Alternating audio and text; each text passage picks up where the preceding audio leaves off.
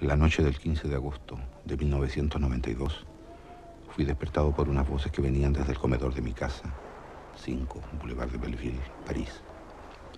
No sin sorpresa, reconocí a mi tío Juan Ruiz Ruiz, muerto hace ya 25 años en Chiloé. Le acompañaba un hombre de unos 40 años que se expresaba en castellano con cierta dificultad.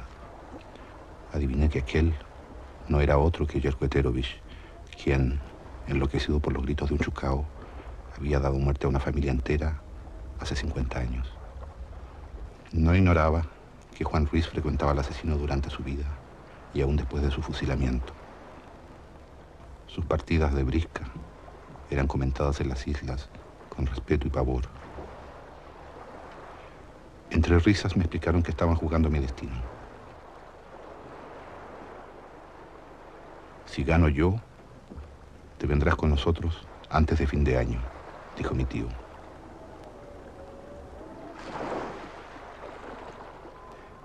Antes del alba, Eterovich sacó ventaja. Vino una discusión. Se intercambiaron insultos. Como era su costumbre, Eterovich trató de matar a Juan Ruiz profiriendo amenazas innecesarias en los más allá del mundo. Indiferente a las amenazas, mi tío se puso a proyectar sombras chinas en las mejillas del muerto asesino. Las sombras me hablaron y dijeron, tres edades tiene el hombre. Durante la primera habla con los muertos, durante la segunda con los vivos, durante la tercera consigo mismo. Después muere. Horas más tarde me desperté en una pequeña aldea no lejos de Castro, en Chiloé. Inexplicablemente, cuatro meses habían transcurrido.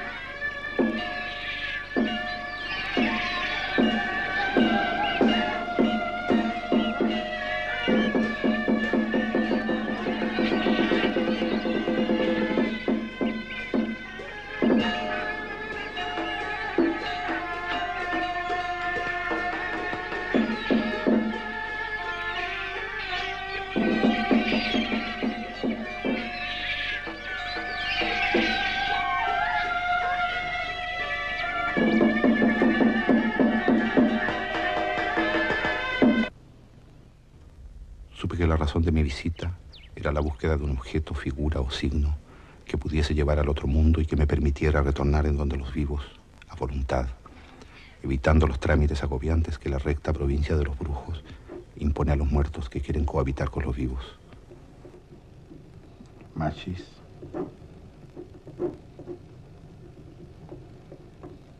Aprendices.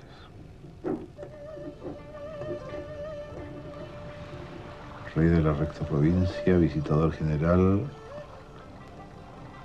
comandante de la recta provincia, comandante de la tierra, juez componedor, escribano de la recta provincia, rey de sobre la tierra, rey de bajo la tierra, rey de España, presidente de la tierra,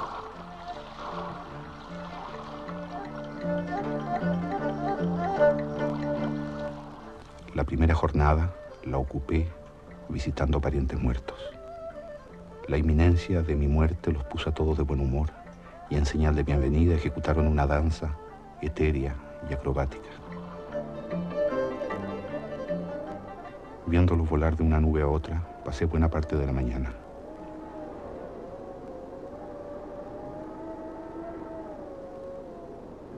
Aquella misma tarde quebré los siete espejos que cierran las puertas del más acá a las armas volantes y así desencadené una regocijante avalancha de espectros, risueños y deportivos.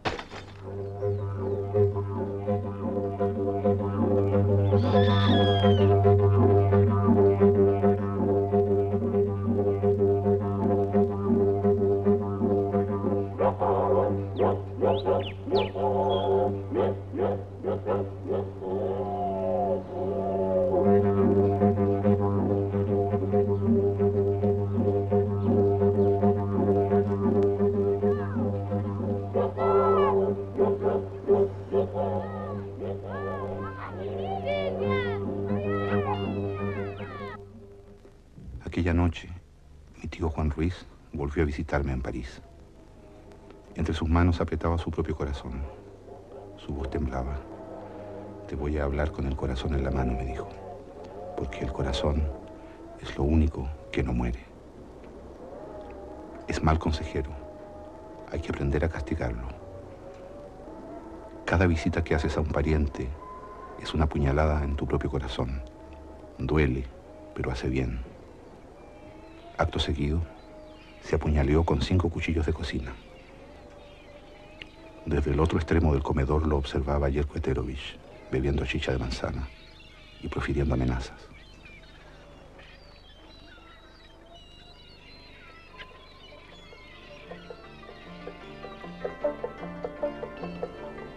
Al día siguiente visité a una prima, directora de una pequeña escuela.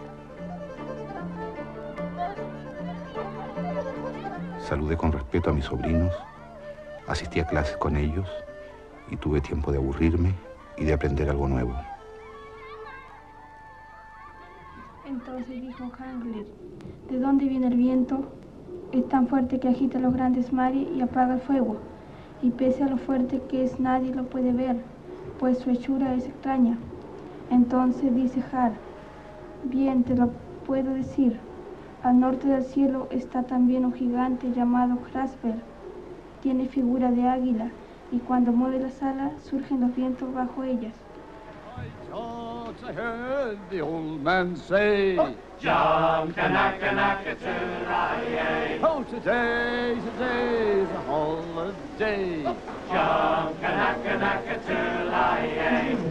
¿Y tú? ¿Has escuchado también hablar del Caleuche? Sí, poco. ¿Qué has escuchado? Que es un barco fantasma. Y anda. anda en las noches. en las noches oscuras.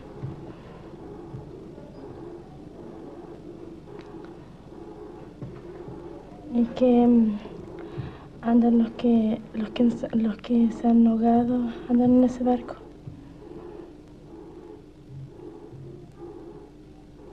Y eso no me ha escuchado. que es un barco fantasma, ¿Ya? ¿Por qué dices tú un barco fantasma? que no se ve, se ve cuando hay, cuando están las tempestades, ¿Ya? ¿En noches de tempestad? ¿sí? ¿Ya? ¿Y qué se ve hoy en el barco? que anda iluminado, Iluminado. Y se ve como triste, como alegre, ¿cómo se ve? ¿Qué se escucha? que hay música, Música. ¿Se baila en el barco quizás? ¿sí? Oye, ¿quiénes andan en el barco? gente que, que muere en el mar, Que, se han, que han muerto ahogados. O sea, ahí son inmensamente felices. ¿sí? Cecilia, ¿te asusta a ti cuando cerca de tu casa canta el coro? Sí, ¿Por qué? porque anuncia mala suerte. Eh, ¿Qué anuncia? Puede morir alguna persona a la casa Ya. o se puede enfermar. Ah. ¿Qué otra cosa produce mala suerte? Cuéntame todas las que provoquen. Cuando se cruza un gato negro, el cantar de un chucao. Cuando se acerca un coy o una lechuza, el tropezar con una piedra.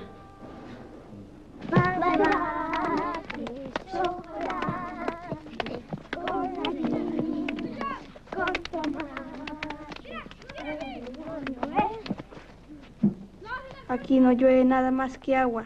Aquel, cuando está aquí, ya está estando allá. Va muy rápido, no va a llegar a viejo.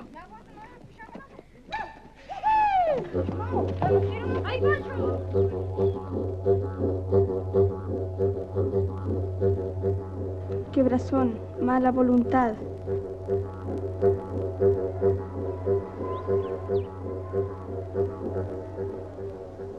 Los mirones parten el fierro.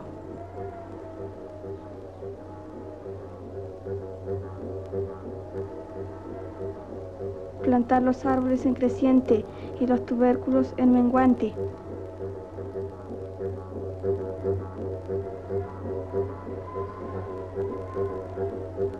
que pasa entre medio de dos les arrebata lo bueno.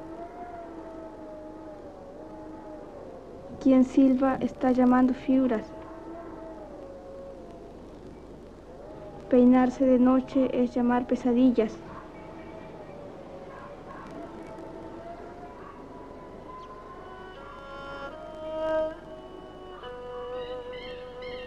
Pan con el labo plano hacia arriba se ofende a Cristo.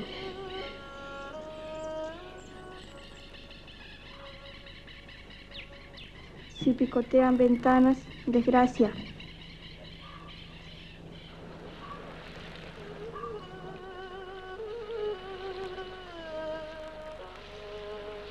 Jamás cantar a oscuras. Sal y ají en el brasero, el brujo estornuda. No contestarle al que te llama en la noche. Dos tenedores en vez de uno, dos amantes. Las espinas del erizo se van al, al corazón para sacar las esperas, la marea creciente. Muchas velas, velorio, niña que barre, visitas. Botar las basuras al crepúsculo, se van los hijos. Mujer que se cae, se casa con viejo. Niño con piojos será rico. Niño medido con cuartas no crece. Niño debajo de la mesa no crece. Vámonos a visitar a esa piedra feliz. Vámonos a visitar a esa piedra feliz que ha sido la sepultura de los que aman con buen fin. Botón quebrado, enfermedad. Barrer delante de los pies de alguien le borra la suerte. Quien se devuelve cuente hasta 20. Dormir con reloj, mala suerte. No cortar género en sábado. Camisa blanca surcida con hilo negro, viudez.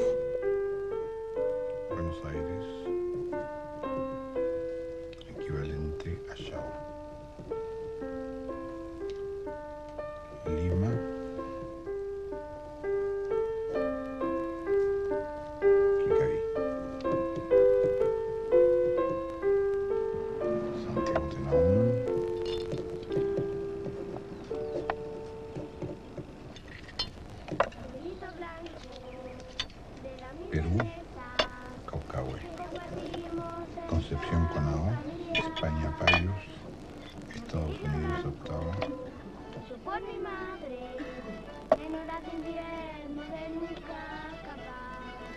Pastelito blanco, de la humilde mesa. Sur les côtes du Chili, on débarque le lest. Chaque soir, l'exercice d'aviron était réglementaire. Et aller chercher whisky la façon de Barbarie, mon ami. En la tarde busqué a tres primos hermanos, pero se habían ahogado. Al día siguiente me encontré con un primo que creía muerto y que cuando niño apodábamos el buzo. De aquel apodo había hecho la razón de su vida. Le acompañé toda la mañana. No jugar con la tierra en que se siembra. Dolor de cabeza, suerte en amor. Quemar cochayuyo al día siguiente, buen viento.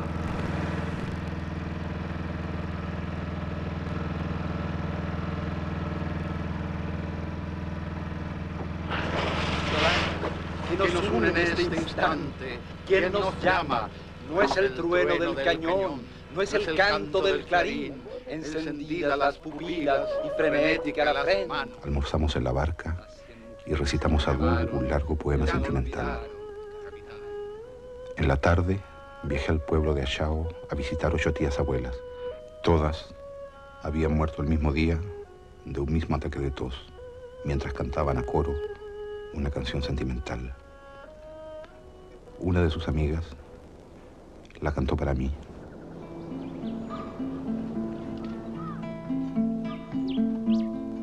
Yo soy el pajarillo errante que ando y perdido, que ando y perdido dentro de mis enramada en pobre abrigo y en pobre abrigo.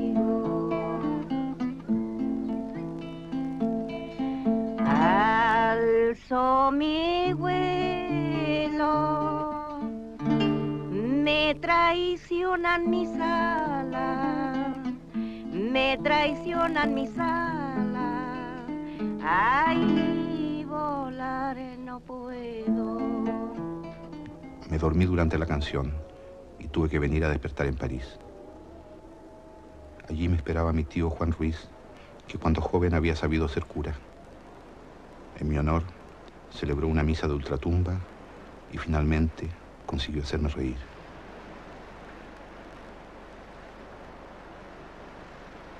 Durante la prédica me anunció, ha llegado la hora de partir en busca de ti mismo. Mientras no seas capaz de encontrarte y de hablar contigo mismo, cara a cara, nadie te dirá en dónde está la llave que buscas. Me apresuré en despertarme. Me encontré en Puerto Montt. Me busqué en las casas de mis tíos muertos. Nadie me había visto. Visité la calle Ancud. Nadie sabía que yo existía. Cerca de la estación me habían visto una semana atrás. Cerca de Angelmont me divisé a lo lejos, pero me perdí de vista. En cambio me encontré con mi padre.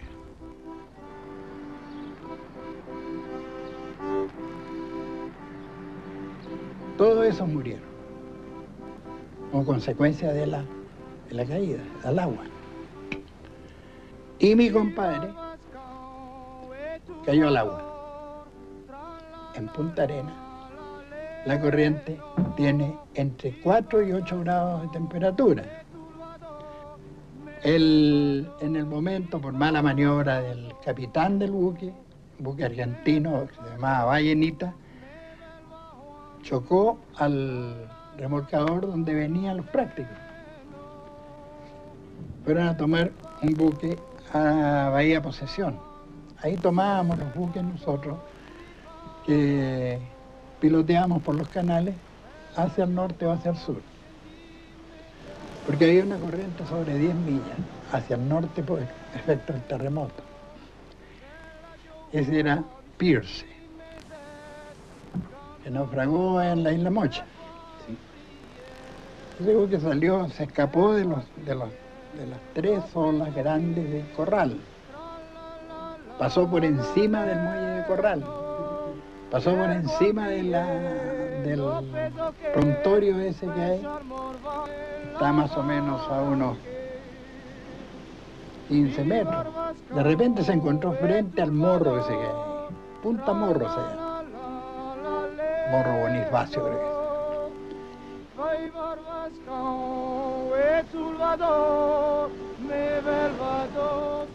Me fui a dormir sabiendo que no encontraría la llave o signo, o santo y seña, que me permitiría cruzar sin pasaporte de un mundo al otro. En mitad de la noche me despertaron las risas de un niño. Las risas venían desde la biblioteca. Allí le encontré, o más bien dicho, me encontré. Estaba leyendo una Biblia y hacía proyectos para el porvenir. Me atropella un auto, me mata. 10, 9, 8, 6, 5, 4, 3, 2, 1, 0. Hop, resucito. Me pongo a conversar me da tos, me aburro, mato a alguien, me arranco el camello, tomo leche de camello, voy al colegio, pongo un huevo, me tiro al mar, debajo del agua encuentro unos tíos, los mato, leo el diario, dirijo un coro, encuentro un cofre y digo, hay algo dentro del cofre. Lo tiro por la ventana, yo salto por la ventana, resucito en el aire, caigo sobre un cartero, le robo la bicicleta, me vuelvo policía, me mato, lo resucito, tengo un hijo, lo vendo por diez mil francos, me compro una enciclopedia. Sobre la Biblia había un hipocampo. Bomberos, le prendo fuego a los bomberos. Ese hipocampo sería la llave que me permitiría vivir aquí y allá al mismo tiempo. Desde entonces no he vuelto a aburrirme.